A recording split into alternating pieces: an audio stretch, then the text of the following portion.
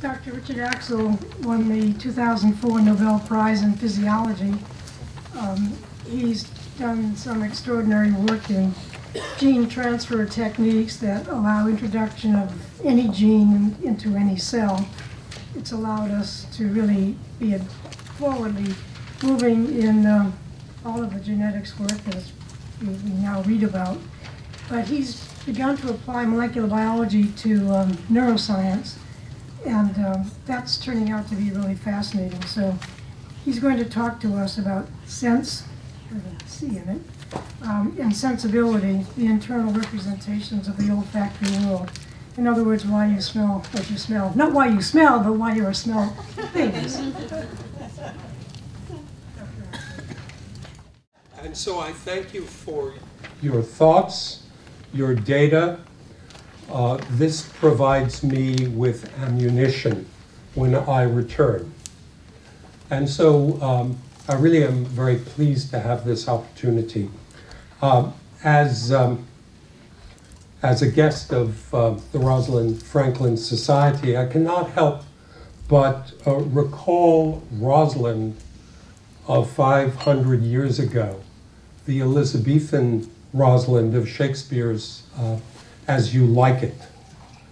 Rosalind was a woman so fully realized by the subtlety of her thoughts, the complexity of her emotions, and the fullness of her character. Rosalind and the Rosalind Franklin Society have indeed so effectively attempted to subvert the limitations that society indeed does still impose on women, and your efforts to dis- dissemble the remaining barriers that society still imposes on women in the arts and sciences are really uh, enormously appreciated. So thank you for this uh, opportunity. I'm going to talk about science.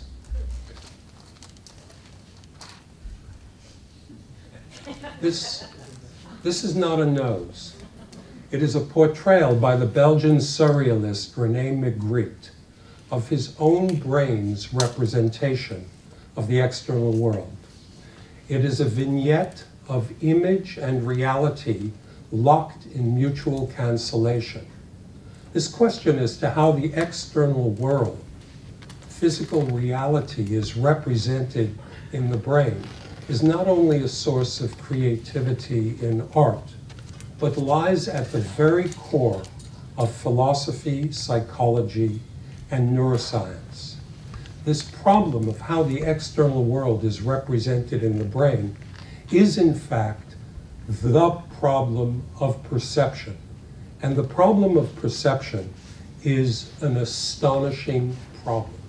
How it is that the physical reality of the world can actually be recognized and represented by a brain.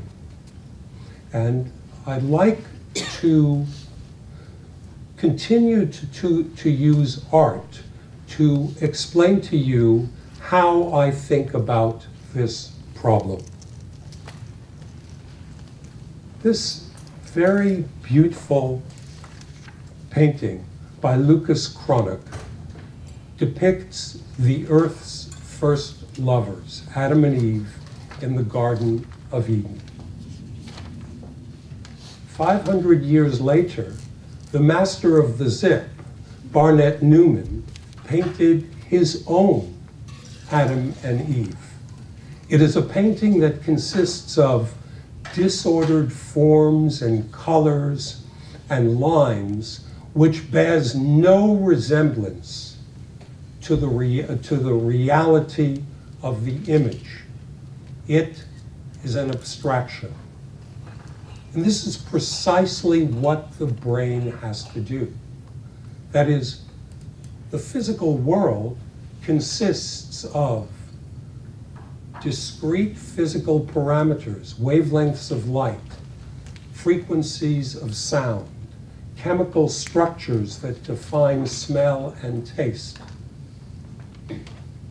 And these physical parameters need somehow to be represented in a brain that consists solely of one thing nerve cells, neurons. And neurons can only vary in their firing in two parameters time and space. And so, by definition, the brain must be abstracting the physical world. Got it? Let's consider the little we know about how this is done for the sense of smell. There's a nose. In the posterior recesses of the nose resides something called a sensory epithelium. The sensory epithelium consists of neurons, and the neurons have two processes. One, a specialized dendrite, which extends out into the world. And it is on this dendrite that, resol- that resides the machinery to allow for the recognition of odors, and that causes an alteration in the um, electrical properties of the membrane, which is then transmitted to the other process called an axon, and this axon uh, courses through the skull into the first relay station of the brain. That's called the olfactory bulb. So, in your nose, you have a cell which makes a, which recognizes odors and makes a direct connection between the external world and the brain. And so we can look at how odors are represented in the brain. And we do this by uh, a variety of different um, technologies, and I'm going to try and tell you about the technologies because of the excitement that's emerging today about new um, uh, ways to investigate brain function, um, as well as genetic chicanery.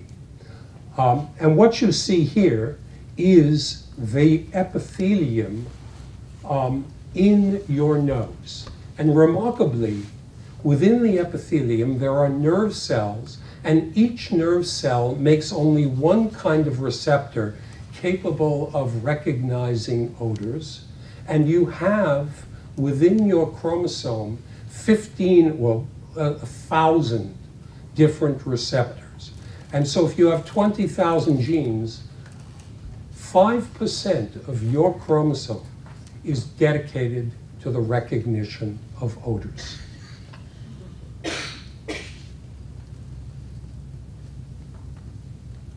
To our advantage, individual cells within the epithelium make only one kind of receptor. You have a thousand different kinds of receptors, and cells making one kind of receptor are randomly distributed in the epithelium of your nose. But if you follow them now back into the brain, this is the skull, this is the epithelium, what you see is that nerve cells that make one kind of receptor all converge on a fixed point. And nerve cells that make another kind of receptor converge on a different point.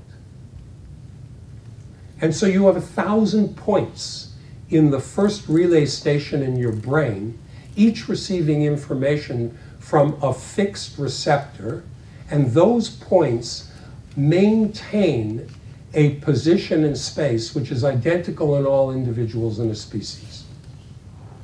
And so it should, you now know how you can discriminate odors. An odor activates 50 receptors out of a thousand, which in turn will activate 50 points in your brain. Those points are of defined spatial character, and every odor will therefore be defined by a different spatial pattern of neural activity. That's true, actually, because we can actually look at that using um, what's known as two photon microscopy. We can image the activity of the brain all of you are familiar with imaging the activity uh, of functional MRI. This approach for imaging the activity of the brain is, has 10,000 times the spatial resolution and a 1,000 times the sensitivity.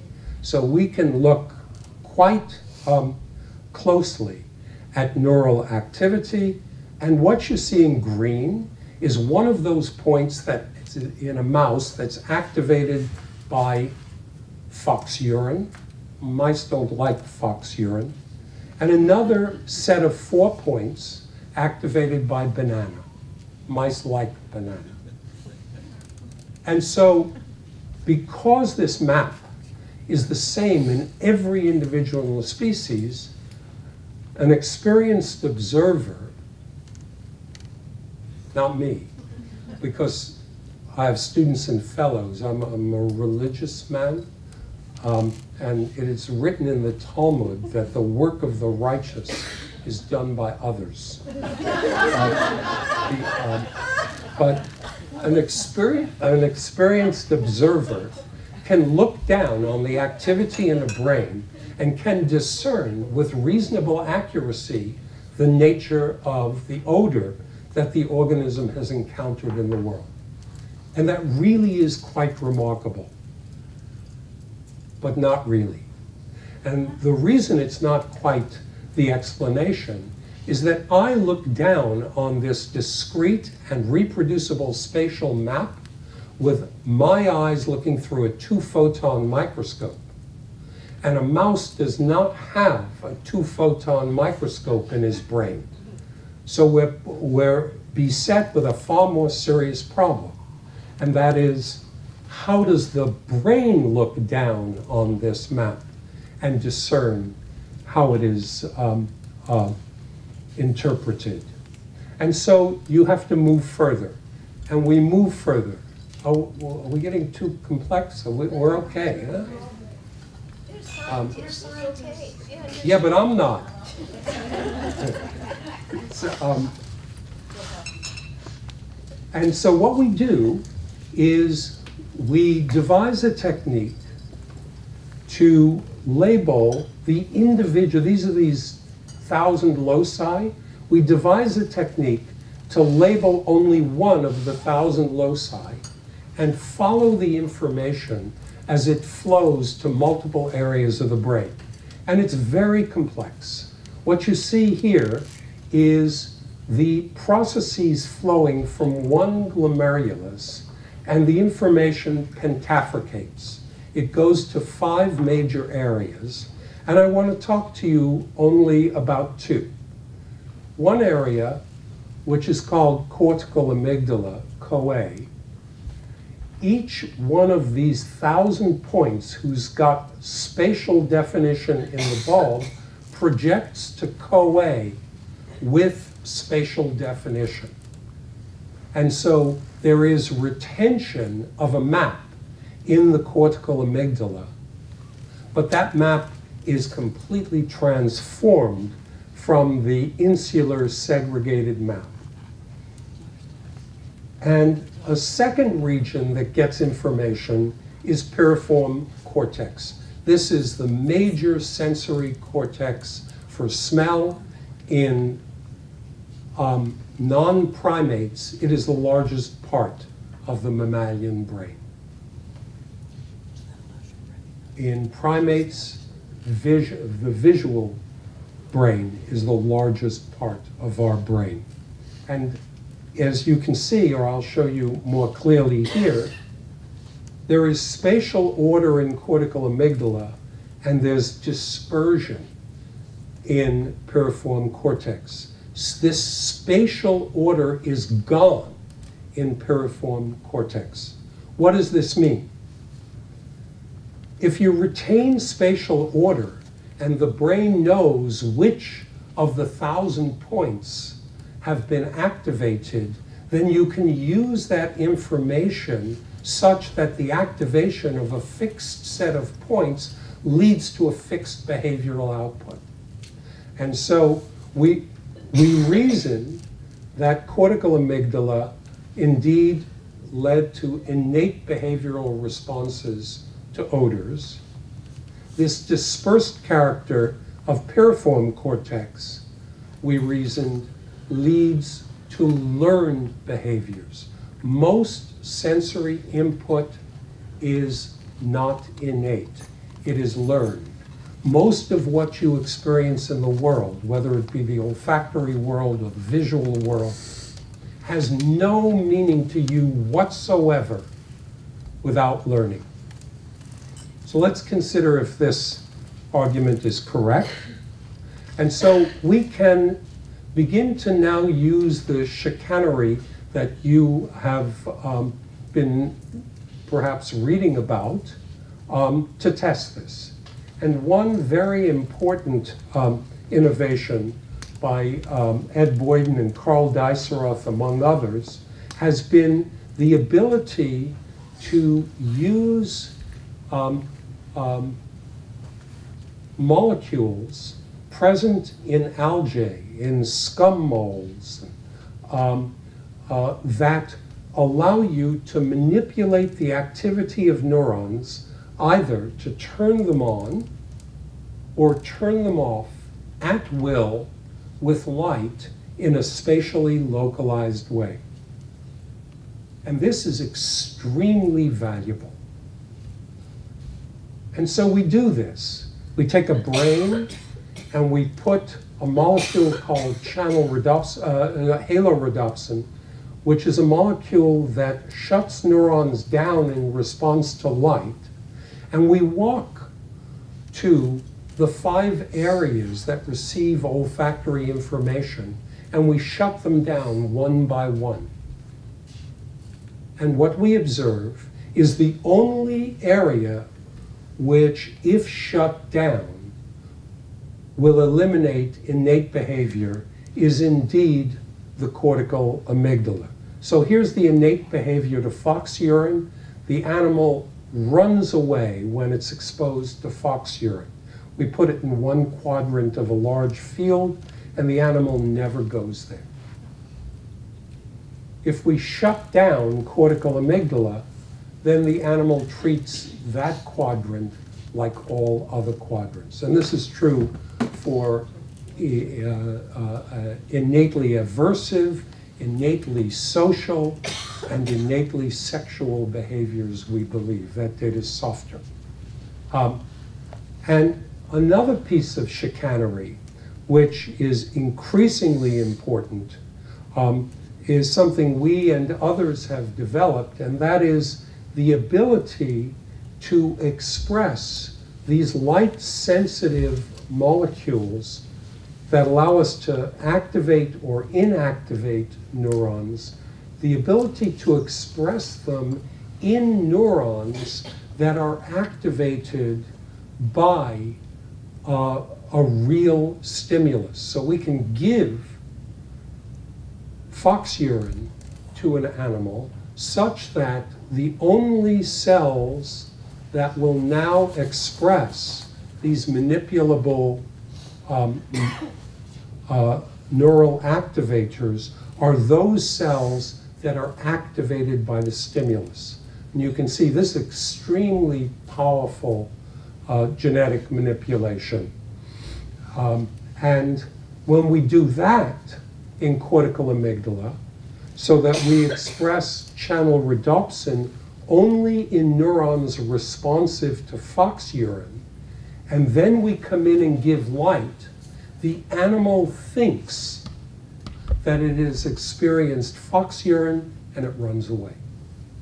And these experiments basically tell us that innate behavior is mediated by cortical, innate olfactory behavior is mediated by cortical amygdala.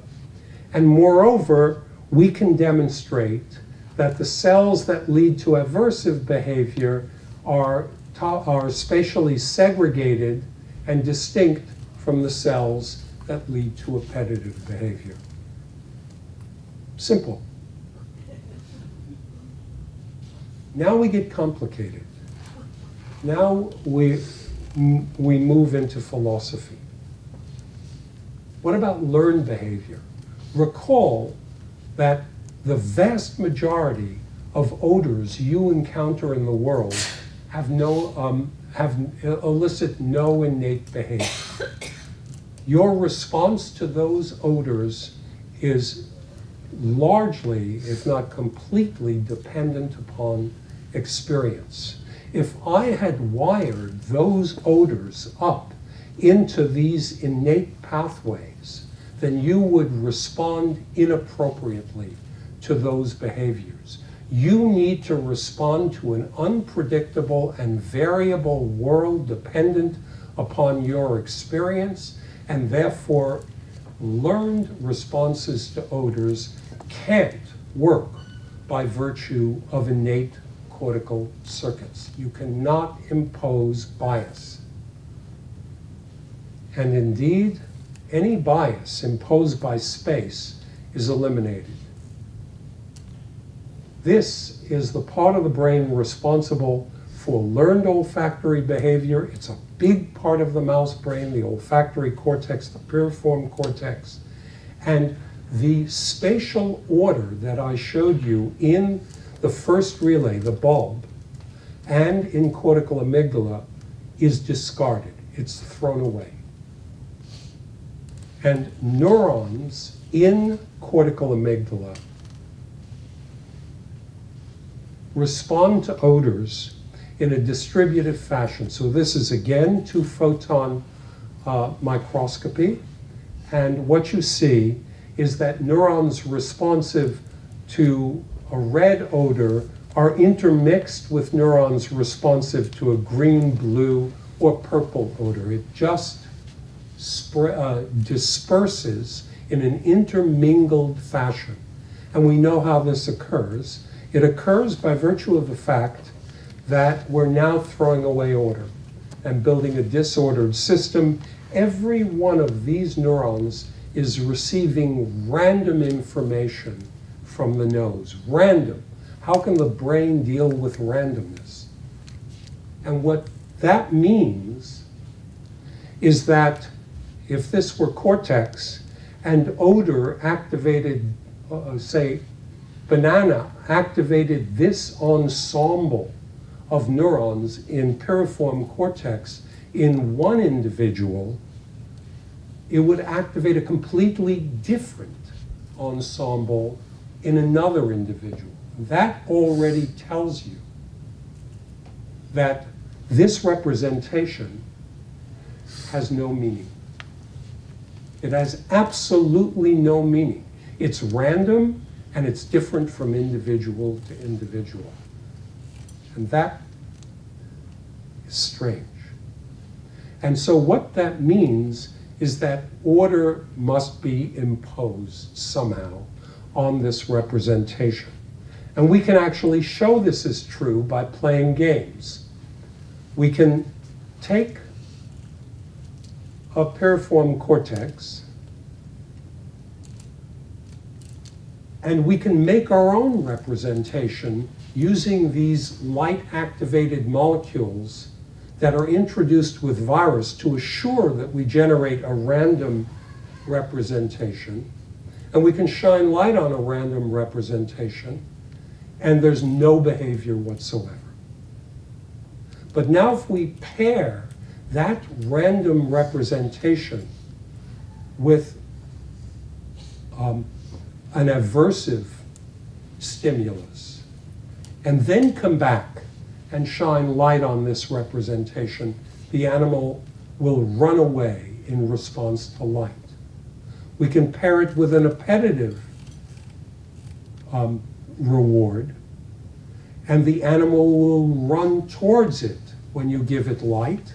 We can even make an animal believe, a male believe, that it is in the presence of a female by this kind of pairing we pair activation of a random ensemble with the presence of a female, the male, now in response to light, will exhibit social and sexual behaviors as if there were a female present. And so we can take the same ensemble of neurons activated by an odor and make that ensemble elicit any behavior depending upon experience. Got it? Because I don't. It's, um, this is how your brain works. Now, there is chicanery, uh, further games one can play, and what we can show without going through the details is how is this done? Well, we know that innate behaviors are encoded in cortical amygdala. And we know that odor identity and learned behaviors require piriform cortex. Piriform cortex sends a major output to cortical amygdala. And so these random representations in piriform cortex connect to the behavioral outputs mediated by cortical amygdala and learning experience dictates which of the multiple cortical amygdala outputs a given piriform representation will activate. And so this puts to bed the nature versus nurture controversy. There is an intimate relationship between learned behavior, the circuits mediating learned behavior, and the circuits mediating innate behavior. They share the same neural architecture at the level of the cortical amygdala. So what have I told you? I've told you, don't have to believe me, I've told you, or I've suggested, that learned behaviors uh, innate behaviors are mediated by a circuit which goes from the nose to the bulb to the cortical amygdala and involves highly specialized insular spatially spatial patterns of neural activity that are the consequence of what we call hardwired neural circuits that emerged through Darwinian selection through long periods of evolutionary time in response to predictive cues that existed over long periods of evolutionary time. Learned behaviors, on the other hand, result from a circuit in which the highly ordered spatial map of the bulb is discarded in piriform cortex to lead to a disordered array of neurons. And order is then restored by virtue of learning, by virtue of reinforcing the um, connections between piriform cortex and cortical amygdala. And so, what I've told you is that this abstraction by Cy Twombly of Leda and the Swan, an image that hangs in MoMA in New York, clearly demonstrates to you the beautiful Leda being seduced by Zeus, who has been transformed into a swan. You don't see it?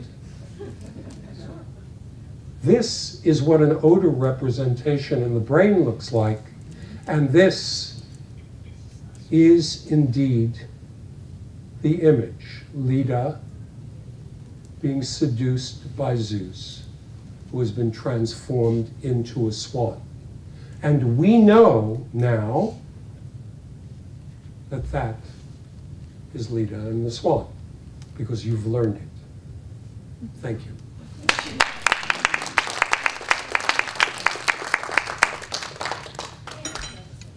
So, Can I ask a question of, of vision? How many people are doing the kind, this kind of research that you're doing on the all factors? One. Uh, I don't know, you want me to count them? I, I mean, I've had 50 students, most women. And how many young investigators you have working on people this? ahead of me. Well, That's okay. in my lab, Yeah. a dozen. Baker's dozen. so if you can replicate the, the pattern of the learned uh, firing, which is, you said is random, in a second mouse, would it exhibit that, will it have learned the same? No, the pattern doesn't mean anything. So the pattern doesn't Pattern mean. doesn't mean anything. You, it, it, it- it, uh, what, what means something is experience. Any pattern will give any behavior. That behavior will be appropriate to history, experience, emotion, or well, But doesn't pattern turn into experience and experience turn into pattern? It has to.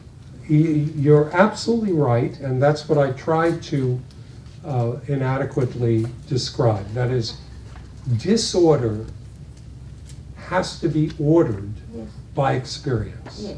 And so the disorder of um, the cortex is transformed into order by virtue of synapsing, of connecting with the ordered behavioral outputs we believe in cortical amygdala.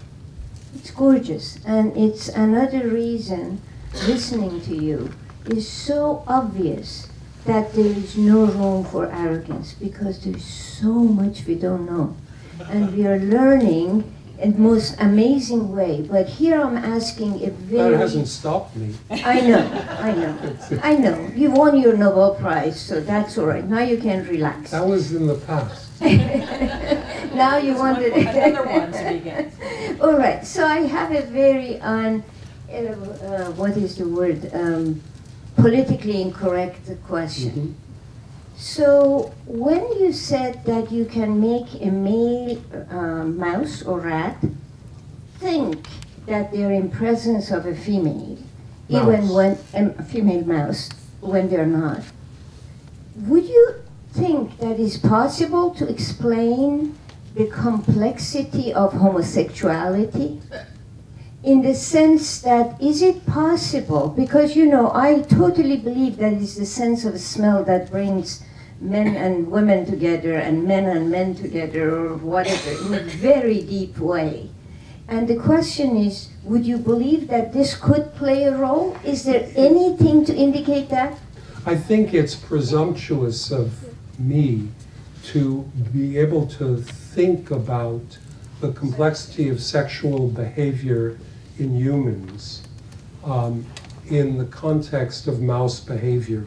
Uh, several years ago, I was able, with one simple genetic uh, manipulation, to create um, a bisexual mouse, a mouse that will m- mount uh, males as frequently as females. Um, But um, uh, the relationship of that behavior um, to human behavior uh, is specious. Um, And any efforts to define genes that may in fact increase the probability of homosexuality uh, have failed uh, in, in humans. It's really so, so fascinating. I have two questions or points. One is that there's work in T. gondii, Toxoplasma gondii, Mhm, where yeah. the transmission of, of uh, parasites to, from cats to mice, that mice that become infected are no longer fearful of cat urine. That would be an innate response, yet the, it would, it- it has some learned aspects to it as well. So it's one, it's really sort of an interesting conundrum, and wondering whether anybody has done the neuroanatomy and, you know, functional anatomy. It's, uh, that's one of the most fascinating observations uh, in, in olfaction, and there is no biological basis for it that anyone has on earth. We've considered looking at it, actually, but I don't think Looking to see whether the Yeah. parasites are actually affecting one, the piriform versus the Right. core. The other question is really, or comment is about pheromonal uh, perception and whether when, it- are the, are these areas uh, potentially activated in the perception of, of pheromones and um, is, or is there a completely different uh, foundation, neuron- neuroanatomy? Yeah, um, so, um, the word pheromone, uh, has to be defined, uh, um, but there are molecule, I mean, classically, and I, this, uh, definition is incorrect. Classically, a pheromone is defined by, uh, a molecule made by one member of a species that elicits an innate sexual, social response by another member of the species. That's not uh, any longer correct. But in mice, there are two noses.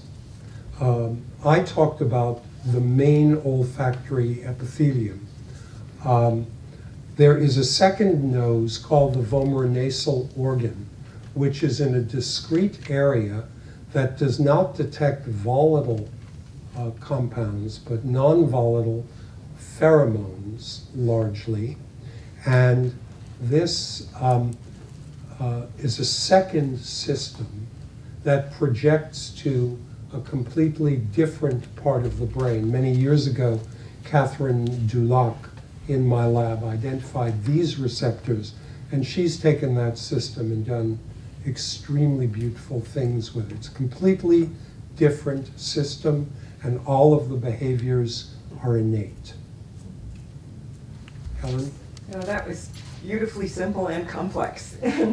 I wanted to ask you, how, um, how much can one extrapolate or generalize this kind of sensory system to other sensory systems, such Yeah. as taste and Yeah. hearing, which are also innate and learned? Yeah, so taste is largely hardwired, but you can impose learning on it. Um, uh, virtually everything that activates a receptor in the tongue will lead to a hardwired behavior. That behavior, of course, as all of us know, having gotten ill by eating something, that behavior can be modified. But I actually think the, the principle of disordered representations returning to order is a general principle in the brain. Um, I think that uh, if you look up at the vast array, the millions of visual images we're all exposed to in this room, it's inconceivable that you could have wired that into your brain. It must be random. Nowhere in your brain is a square object represented by the firing of neurons in the form of a square. And recalling images is not like a video camera playing back that image. It has to be, has to be random, it would seem. The fact that Australians love Vegemite is an example of a learned. Yes. Oh, sorry, sir. Uh, just a quick question. And I know in humans, we, we have um, gen- genetically inherited differences in the concentration of our taste buds. We have the undertasters, the, the overtasters, sometimes called super tasters. Mhm. So are their brains affected by the concentration of taste buds? Um, You know, these, I, I, I can't understand super tasters. You have super smellers too, and I've had conversations with them, and we speak a completely different language. It, it seems, um, I was in Grasse, the center of the perfume um, industry, talking to the nose of the world, Roudnitska. And frankly, I had no idea what he was talking about. So I, um, I, I I don't know how it is that he can so readily discern the composition of that perfume. But thank you, and I apologize for speaking out of turn.